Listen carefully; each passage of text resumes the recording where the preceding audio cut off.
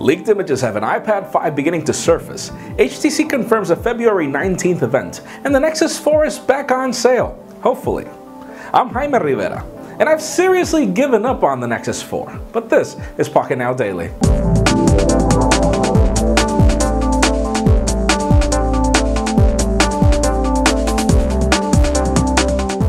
That's right, Google has once again started selling the Nexus 4 on the Google Play Store, and even though I've currently lost complete faith in them in trying to buy this device, I know many of you are still on the ropes trying to get one. It still retains the same price tag, and it'll ship in one to two weeks, but I would hurry up if I were you because this message will most probably self-destruct before this video even goes live. And speaking of Google, new rumors have the company working along with ASUS on a newer version of the Nexus 7 that sports a 1080p display and probably a new redesign. Rumors also have the company working on launching this device on May 15th or 17ish, somewhere around there, which is interesting because it's probably a little bit earlier than Google I.O. when it happened last year, so stay tuned for the news.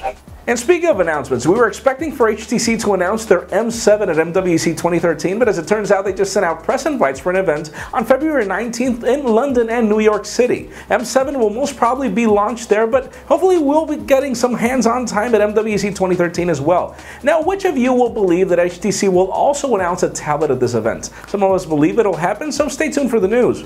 And if the iPad 5 is your thing, new leaked images show a larger version of the iPad mini already out in the blue end the design looks exactly the same to the other one, which is code to the iPad 5. Now, it's hard to know if the design will be ready for a launch within spring of this year, like it happened last year, but with Apple, you never know.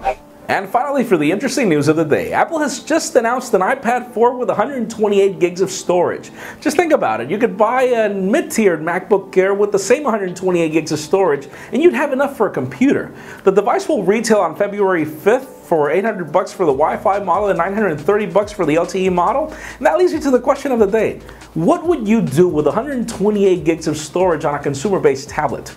In my particular case, I'm okay with 64 gigs on all my iOS devices, but still, leave us a comment down below. What would you do with so much storage? If you think about it, there's $100 of difference between the 64 gig and the 128 gig, so it makes some sense for some people like me, but still, it's overkill.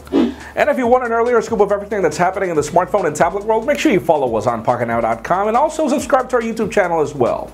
Please give this video a thumbs up if you like what you saw. I'm Jaime Rivera. Thanks for watching. See you tomorrow.